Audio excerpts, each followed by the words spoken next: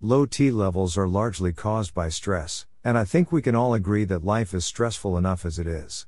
Why not concentrate on your diet if there isn't much you can do to reduce your stress? Similar to how some foods obediently raise testosterone levels, some foods deplete your T reserves before you can even show off your bicep. For example, flax seeds can damage your testosterone. Startled? Watch this space to find out what additional foods surprisingly have the ability to destroy testosterone. Press the like button quickly, and let's resume our conversation. First, the root of licorice.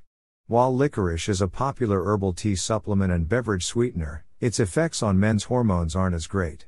Concentrated licorice extract, or glycyrrhizic acid, inhibits testosterone by blocking an enzyme that increases testosterone production.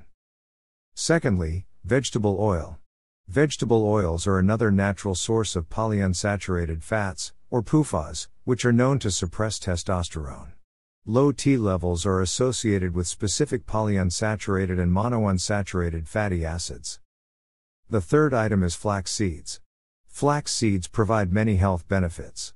That being stated, there are two ways in which flax seeds can negatively impact testosterone levels because of their high lignin content. One particular molecule that has been connected to each male participant's decreased testosterone levels is lignin. Sugar, number 4.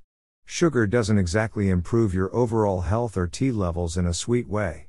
According to a study, men who consume a lot of sugar are more likely to have low T levels. Fifth on the list, baked foods.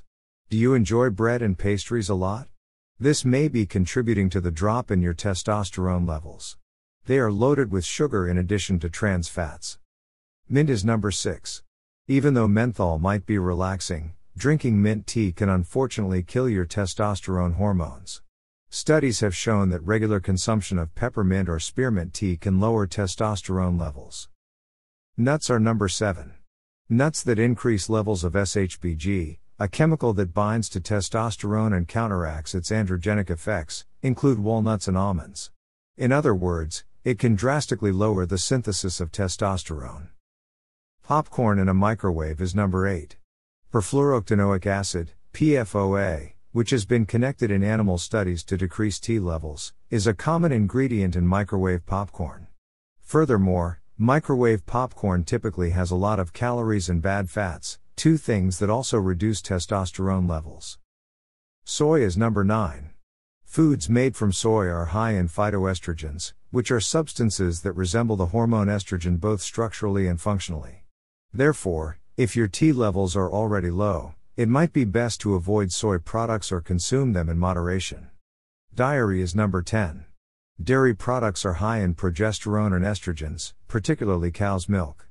By inhibiting the gonadotropin releasing hormone, which enables the testes to produce testosterone, these hormones can have a deleterious effect on testosterone levels. Some foods also raise T levels, as we briefly noted at the beginning.